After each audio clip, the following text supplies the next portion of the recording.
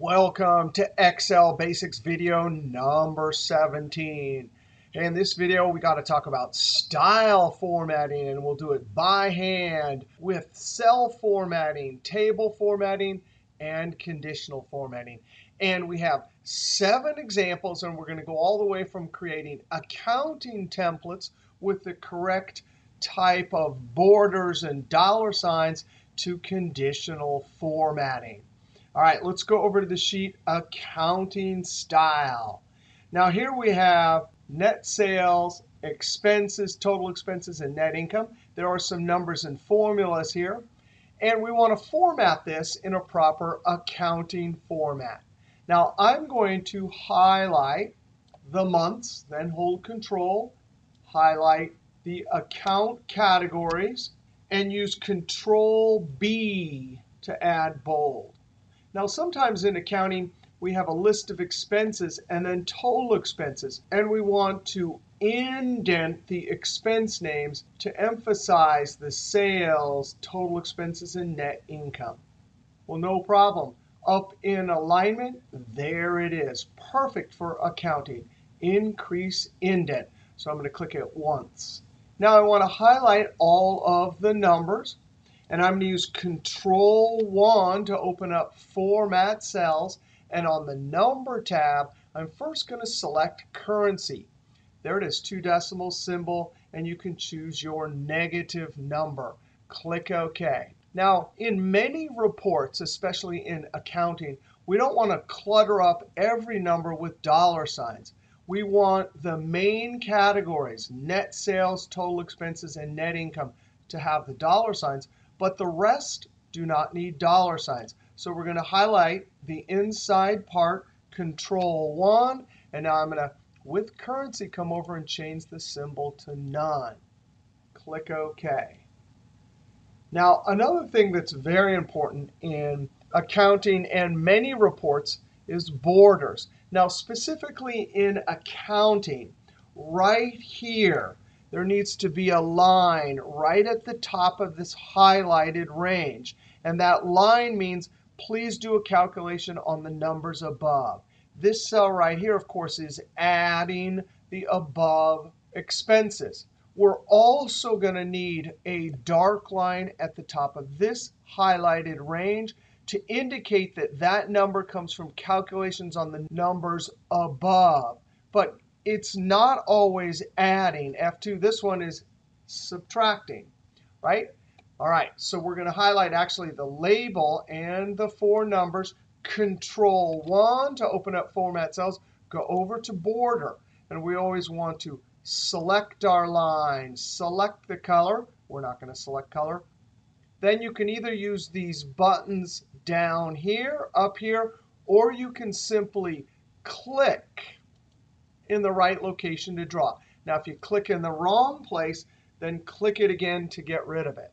Now, actually, if you look over here, we want a dark line at the top. But I'm going to put a dark line at the bottom, too, which will really serve as the dark line for the next calculation. So I'm going to click twice. Click OK. If we come off to the side, we can see there is our line. That line right there means adding. And that line right there means please calculate net income by net sales minus total expenses. Now we highlight the last line. Control 1, we select a double line. And a double line in accounting means this is the bottom line. This is the number we are trying to calculate with this report. Click on the bottom, click OK.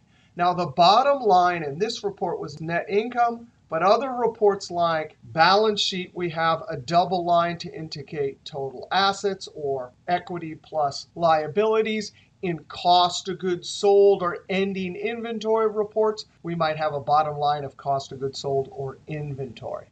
And there is our accounting report. Proper borders and proper dollar signs. Now I'm going to highlight all this. And since this is a video about formatting, right clicking on the mini toolbar, one of the most important formatting options, Format Painter. I always call it the paintbrush because when I click it, it loads up my cursor with a paintbrush. Now, you got to be careful. wherever you click, it's going to apply. And since I have a whole range of cells, I want to make sure and click up in the upper left-hand corner. And just like that, it applies all of that beautiful accounting format. Now I'm going to highlight all the numbers, and we're going to change this number formatting to accounting, not currency. Control 1, number, accounting. I'm going to select OK. Now I'm going to do the opposite of what we did up here. I'm going to highlight just the lines using my control key that get the dollar sign. Control 1, symbol, dollar sign. Click OK. Now we can click off to the side. So the only difference, currency, accounting. And we talked about this difference earlier. Negative numbers in currency, you have the choice of how to display them in accounting, and it's parentheses. Zero is a dash, like we zeroed out the accounts. Currency, it's a zero. Dollar sign is floating, however big the number is. Accounting, it's fixed on the outside. Now I want to highlight this second report we did and right click and on the mini toolbar I want to double click Format Painter. Double clicking is sometimes hard, but once you get the double click, then your paintbrush is loaded up and you can use it over and over. And I'm going to click once and then twice. And just like that, I've applied it twice. Now I have to turn off the double click, so I use the escape key. Now I want to show you an alternative for cell border. So I'm going to highlight both of those rows, Control 1. And an important border trick is to know to go and click None to remove all borders. Click OK. Now an alternative to cell border is to use underline. So I selected Other and Total Expense and Control 1. And we want to see how to use accounting underline. So in the font group, underline, we can click the drop down. And there's single, double, and then single accounting and single double. I'm going to select single. And when I click OK, we can see there's an underline just on the numbers not the entire cell. Now let's highlight the last row, Control 1, and we're going to select Underline Double. Click OK. Now we want to come down and look at the difference between the single double and then the accounting single and double. Highlight, Control 1, Borders, None. Click OK. Now I'm going to highlight Other and Total Expenses, Control 1, Font underline, and single accounting. Click OK. Now we're going to come to the last row, Control 1, and double accounting. Now the only difference here is the accounting will have the full border when you have that dash. This one doesn't. Sometimes also the accounting will give you just a little bit more breathing room and is a little bit neater than the single and double without the accounting. So there's one, two, three, four different income statements with the correct dollar signs and borders. One other important accounting trick is sometimes you want to have a very dark border around the outside, but only the inside vertical lines need double. So no problem. Control 1, we have full control over borders in the Border tab. I'm going to select the very darkest line and select Outline. I see around only the outside of the report will get that. Now I select the double line, and I want to click only the vertical. When I click OK, just like that, I have my specialized accounting borders. Now we want to go look at our next example, column width.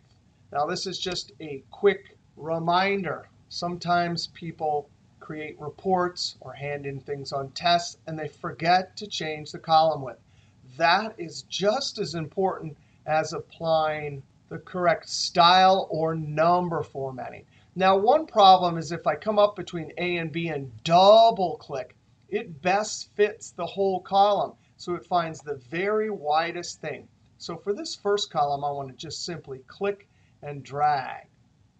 maybe click and drag a little bit. but for the remaining two columns, i'm going to select b and c and simply double click, and it will best fit both columns that means it will find the biggest thing in the column and fit it so don't forget column widths let's go over to wrap text wrap text very important. sometimes we want multiple lines in a single cell so we can simply highlight and up in the alignment group, there's wrap text now, that works fine. and watch this. if i change the width of this column this wrap text button is automatic control z but if you want a manual line break then let's add it with a keyboard i'm going to click before p backspace and we use alt enter to add a manual break now, it doesn't matter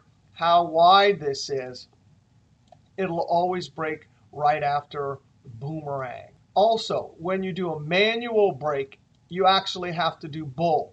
You have to add your wrap text and then a manual break if you were typing it out like over here boomerang alt enter then as i'm typing alt enter would properly add a line break.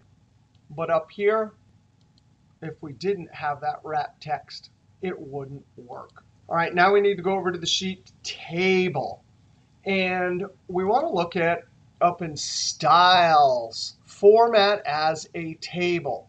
Now, this is sort of deceiving, and i never use it, especially when i teach people about the table feature lots of people click this, and they don't realize that if you use this style, it actually converts it to an excel table and has all the benefits that we talked about in an earlier video so if i'm using the styles from here it asks me format as a table click ok i don't like that. it should say create an excel table but there it is. it formats it as a table, and now it's an official excel table don't forget, if you format it as a table or use control t like we learned earlier in the class please come up to table tools design, over to properties, table name. Table two is not a good name. And i'm going to call it something like sales table. and remember no spaces and enter. Now, if you wanted to format that and customize it, you can come down and create a new style and actually build your own style. We're not going to do that in this class. Now, i want to scroll over a little bit. Let's go over to the sheet cell. And now we want to talk about cell styles. Now, let's just add some formatting to this. i'm going to use the font group. I'm going to add a dark blue fill white font wrap text and border. Now, i've added some formatting, and i want to use it over and over in this workbook so i can come up to the styles group click the dropdown for more and over here, we have new cell style. and it already picked up all of the formatting i've done. You can click this format button and use the format cells dialog box to add what you want. I'm simply going to call this blue header or something like that and click ok. And now, if i highlight a number of cells, i can come up and click blue header. Using the control key, i'm selecting those cells and adding blue header. All right, the last formatting we want to talk about is on the cf sheet and this is the christmas tree light feature in excel. Now, i would like to add what's called data bars. That means an in-cell bar where the biggest value will have the longest bar and the smallest value will have the shortest bar. So i select the cells, go up to home over to styles, conditional formatting. And there's a bunch of amazing built-in rules. Let's try data bars. Look at that. you already have a preview. Gradient or solid? I'm going to select gradient. And it's totally dynamic. If i change this to sixteen thousand and hit enter instantly the bar changes now i'm going to control z to undo that top twenty five percent i only want to format the cells where the values are in the top 25%. so i come up to conditional formatting top and bottom rules top 10%. and i'm going to select twenty five to five. And i'm not going to limit myself to built-in. click the dropdown custom format we can use our format cells dialog box. not all the tabs, just these four. i'm going to say fill with something like yellow, but you can add whatever you want. click ok, click ok.